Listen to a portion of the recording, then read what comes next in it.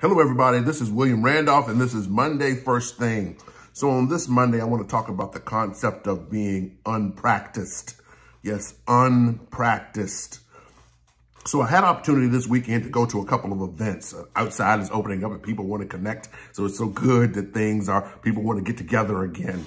And I went to a couple of events this weekend, business related events. And I, and by the, by Sunday afternoon, I was like, wow, there's a theme out here. At least for the events that I went to, there's a theme. People are talking about things being too hard. Things are being too hard. And I don't think too hard is a characteristic of the activity. Yes, it's not easy.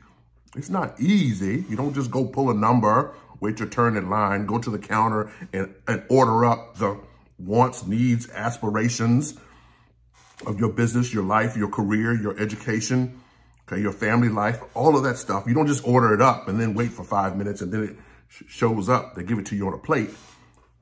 It's not easy, but I don't think it's too hard. I think it, I don't think it's too hard. I think it is unpracticed. It's unpracticed. We haven't done, we haven't put the repetitions in.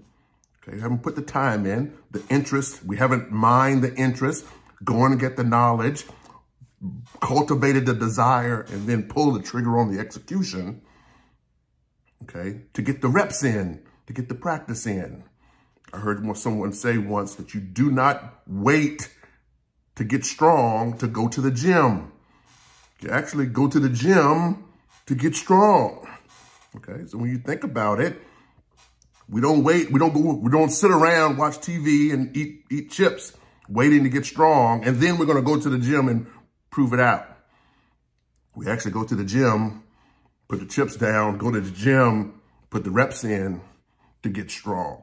So on this Monday, I want, to want you to think about all the things you may think about that are too hard in your business, too hard in your career, too hard in your education. Find the interest, find the knowledge, find the desire, and then the willingness to execute and just put the reps in. It's just unpracticed. It's not too hard. It's just unpracticed. And the more you put the reps in, the better it will be and the less hard it will seem. All the best. Be well.